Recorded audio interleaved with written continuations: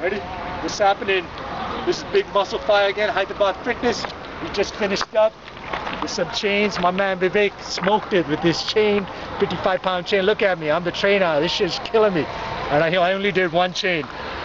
Went all the way up there. Construction worker, blue collar, hard hats. You know what I mean? And we're in no man's land. We got some logs, some plates, some other plates up there. You'll see it in the down that way. He did all this gravel.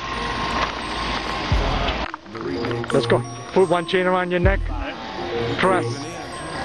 Just a red plate press. One plate. One chain.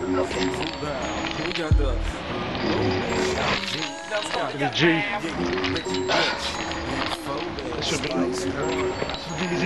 Yeah. Some recovery work. One. Get some blood into the shoulder. Two more. And fine. Now put it down. Put second chain around your neck. Put second chain.